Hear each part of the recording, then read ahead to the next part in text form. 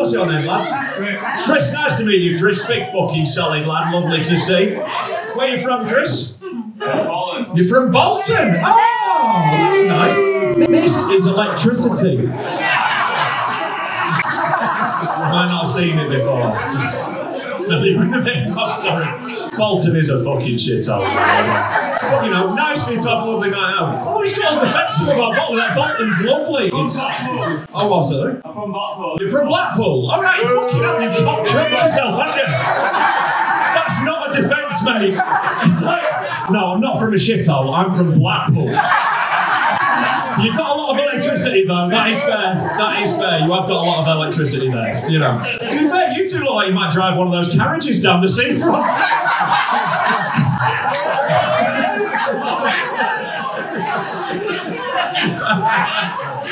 Oh, you're a great bunch of lads, you. A lot of fun. And ladies, obviously, as well. Fucking hell, it's going up over there. I mean, this is the disappointing thing about being a stand-up. Nothing I do will ever be as entertaining to British people as someone dropping a glass.